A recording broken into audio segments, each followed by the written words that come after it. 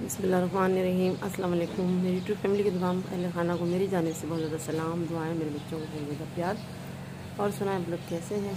मेरे प्यारे बुज़ुर्ग, मेरे छोटे और बड़े सब, बहन भाई और मेरे प्यारे बच्चे, क्या हाल चाल हैं? कैसे हैं?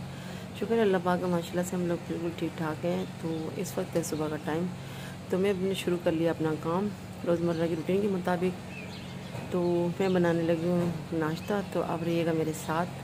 फिर जो काम करूँगी, आपके साथ शेयर करूँगी तो चलते हैं फिर किचन में, बनाते हैं पराठे। और अभी आपको मैं दिखाती हूँ करेले, बल्कि आपको नज़र आ रहे होंगे, सामने देखें माशा दो करेले, तीन करेले मैंने उतार के रखे हैं फ्रिज में, और दो करेले ये हैं, और भी बहुत सारे लगे हुए हैं। मुझे बहुत शौक था कि मेरे घर में करेलों की बेल लगे और करेले लगे।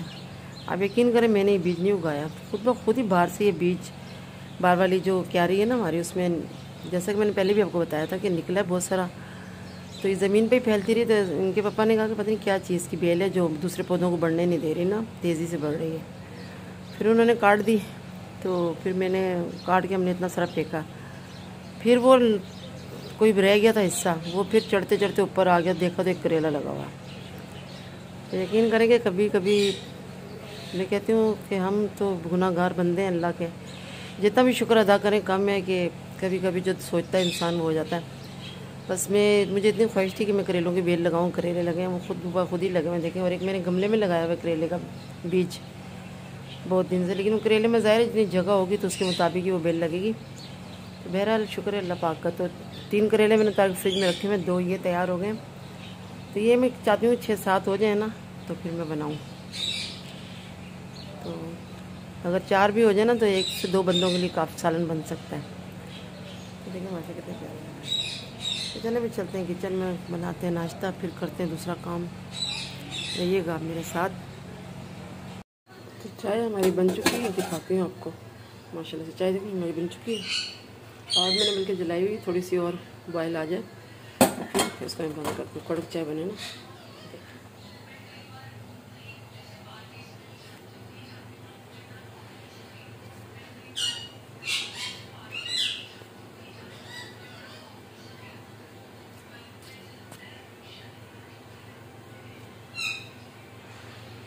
चाहे आप देख सकते हैं। यहाँ रख दिया मैंने तवा यहाँ बना लिया पेड़, और बनाते हैं पराठे। तो चले फिर बनाते हैं नाश्ता।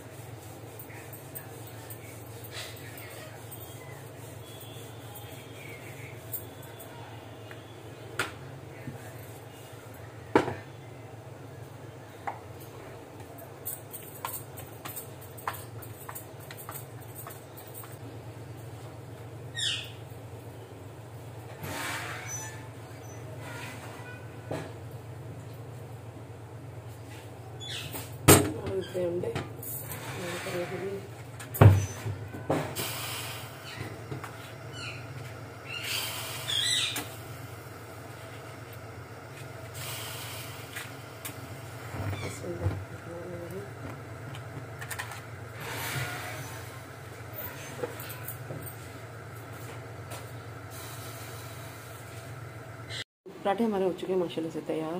दो दो तो अंडे हम बॉयल हो रहे हैं। चाय तो आपको मैंने पहले दिखा दी चाय बन चुकी है। तो चले फिर, दिन का नाश्ता उनको देते हैं, अभी अंडे बॉयल हो जाए। फिर लाइट आ जाती फिर चलते हैं छत पे। कपड़े धोते मशीन लगाई हुई है। चले फिर। चुकी हूँ छत पे, नाश्ता मैं बना चुकी हूँ तो मैं आ गई छत पे तो मशीन में कपड़े डाल के मैं चली गई थी, जैसा कि मैंने आपको बताया था कपड़े धुल चुके हैं। तो मैं थोड़ा दोबारा चलाई मशीन में चलो थोड़ी सी और धुल जाती है। तो कपड़ों की अच्छी तरह मैल निकल चुकी है। आप देख सकते हैं, झाग वगैरह ख़त्म हो चुकी है। तो अब कपड़ों को निकाल लेते हैं निकाल लेते हैं। चलिए फिर मोटर मशीन को बंद कर देते हैं। क्योंकि कपड़े धुल चुके हैं। बल्कि दूसरे कपड़े डालते हैं।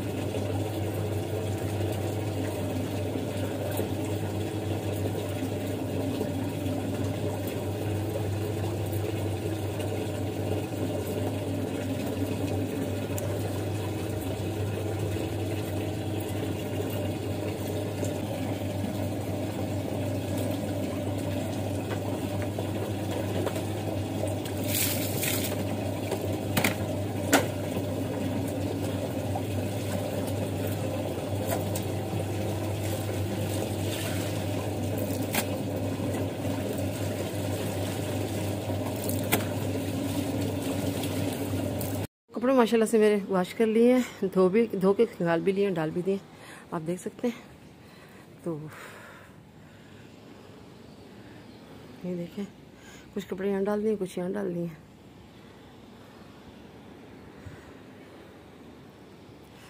और कुछ यहाँ डाल दिए। तो चले, कपड़े मेरे धुल चुके हैं। और वॉशिंग एरिया भी माशाल्लाह से मैंने धो लिया साफ़ कर लिया टप वगैरह धो के रख दिए। तो कपड़ों का काम हो गया, मेरा ख़त्म। अब चलते हैं नीचे अब फिर थोड़ा आराम करते हैं और उसके बाद देखते हैं फिर कोई दूसरा काम करते हैं। तो ये था मेरा आज का व्लॉग अगर लगे अच्छा आपको तो करें लाइक सब्सक्राइब और अच्छे अच्छे कमेंट्स करें। और बेल एड को दबाना मत भूलें। अपने दोस्तों के साथ शेयर करना ना भूलें। और अल्लाह पाक का से यही दुआ करती हूँ, जहाँ रहें, खुश रहें, आबाद रहें, हँसते और मुस्कुराते रहें। अल्लाह ताला सबको कामयाबियाँ अता फरमाए। और उनके सब सबब अल्लाह पाक हमें भी कामयाब करे। आमीन सुम आमीन।